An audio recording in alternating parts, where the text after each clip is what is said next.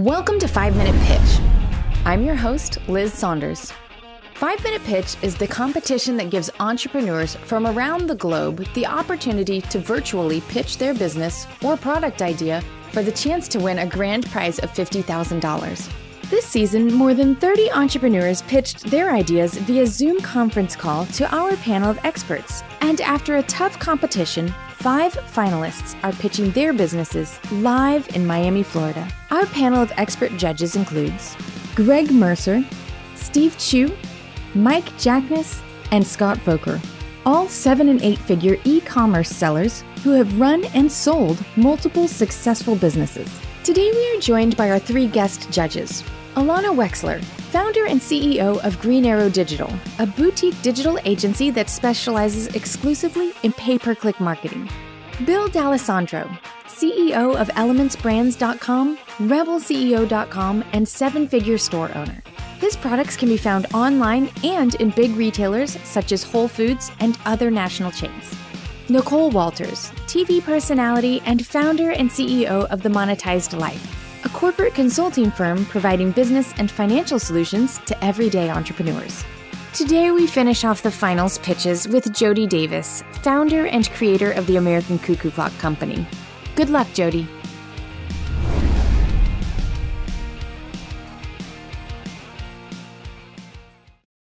Jodie, welcome back to Five Minute Pitch. Your five minutes starts now. Cuckoo clocks are an American tradition. Everyone has cuckoo clock history. At the American Cuckoo Clock Company, we are reinventing the German cuckoo clock, an industry that is deaf to a changing market. That is best exemplified by what happened earlier this week at my farm. My new horse sitter came by one day and then a plumber. When I mentioned we make cuckoo clocks, the reaction was the same. They lit up. I have my grandma's such great memories.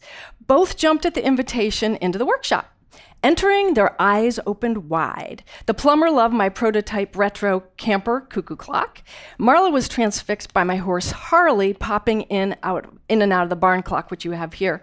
Both responded with, "These are uh, these clocks are unlike anything I've seen before. That fits in my house." That has been the response since 2015 when I sold over 300 quilt shop cuckoo clocks and thought, what if I had two designs? What if I had three? Then I'd have a business. Today I have six designs. Selling that many of each would be revenue of $1.1 million. How would I get there? At the end of 2016, when I had revenues of 144,000 with just one clock model, I traveled to Germany to plan out five designs which were promised for 2017. Unfortunately, all were delayed, causing me to miss marketing deadlines. The only one to make it in late 2017, the American Barn, had been underway for over a year already. It took two years to get here. The writing was in flashing neon on the wall. I took a big hard gulp and set about to become my own supplier.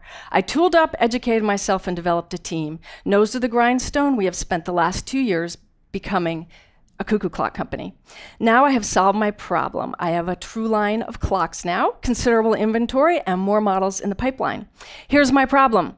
My customer either knows they want a cuckoo clock but doesn't know we exist, or is an enthusiast of, say, fishing, but wouldn't have a foggy notion that there's such a thing as a fishing clock. How would you even search for it? So Google Trends is spot on. No one wants a dark, outdated, deer antlered cuckoo clock, but Google can't measure a market for a non existent product, even if there is a large demand. My customers have proven that demand by buying my first design by the hundreds. I have put nearly every single minute of the past five years and every last hard squeeze penny I have into this business. I'm single. I have no other source of income. I'm all in.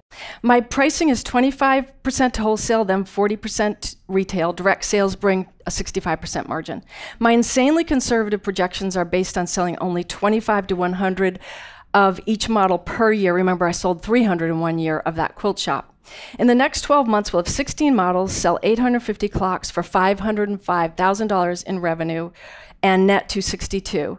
Then, still saying super conservative, in 2021, we'll have 24 models selling 1,300 clocks, giving us 747 in gross.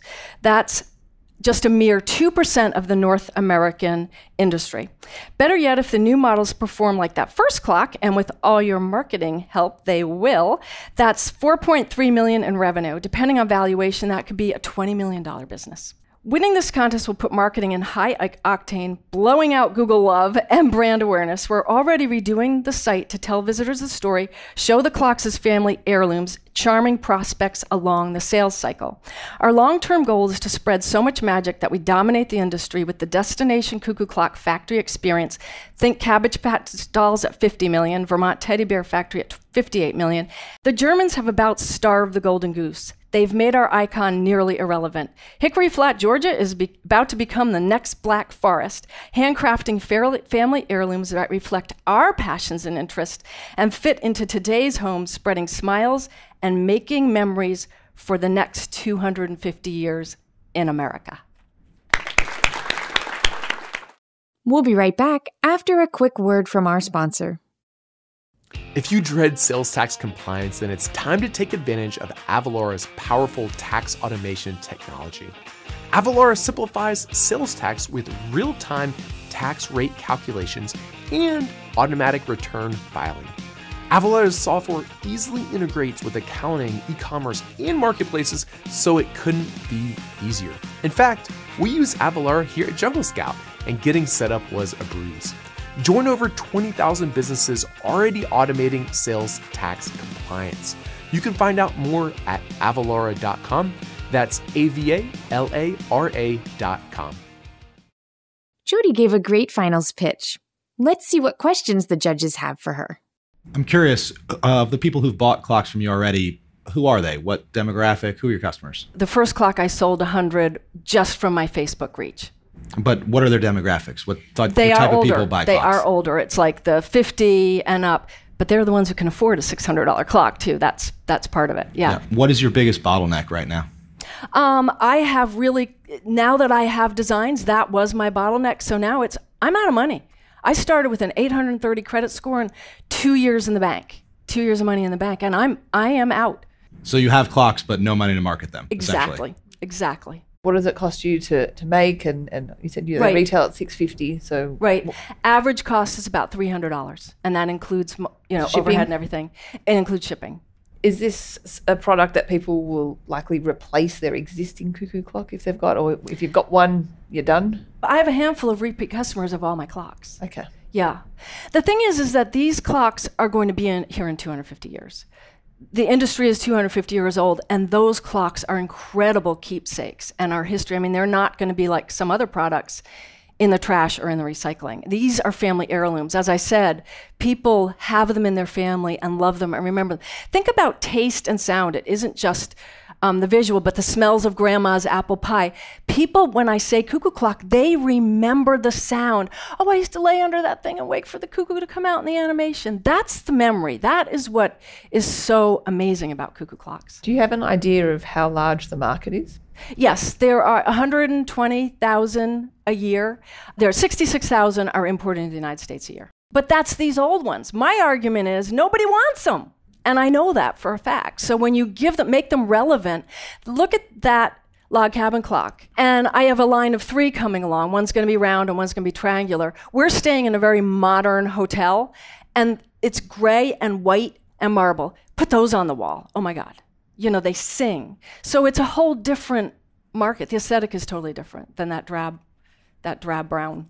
Do you find it limiting? Like, I mean, I hear you saying that you're reinventing. I mean, that clock Mike is holding is not what I would think of when Yeah, I right, thought right, right, right. cuckoo clock, mm-hmm. right? Um, is there a different term or a broader term? Because cuckoo clock does conjure to mind my grandma's attic, mm-hmm. Right. right? But mm-hmm. that clock is definitely not my grandma's attic. Is there some way to broaden the appeal of cuckoo clocks? And that's got to be a marketing thing. That's got to be the visuals and the marketing. I don't, you know, I don't know what what else would you call it. I don't know. heading back to the marketing, uh, you mentioned that you're able to sell so many of these before, and all of your funds were really going into production. So, I mean, you were just leveraging the power of social media. You've done nothing else marketing wise, no trade shows, no there are a couple little things that have happened. I've traded hosting for some advertising, but mostly, yeah, Mostly it's just social media. So, do you have any idea currently where it's going to go in terms of marketing budget? I mean, are you going to pour more into social media, or do you think there is an opportunity to expand into other more traditional forms of media or integrating it in with TV opportunities, things of that sort? Um, no, the TV opportunities, of course, but um, it is online. It's an online business. There is such a great markup. You got to tell the story. It's not something. It's not a twenty-five dollar item. They don't just buy it right o- right away.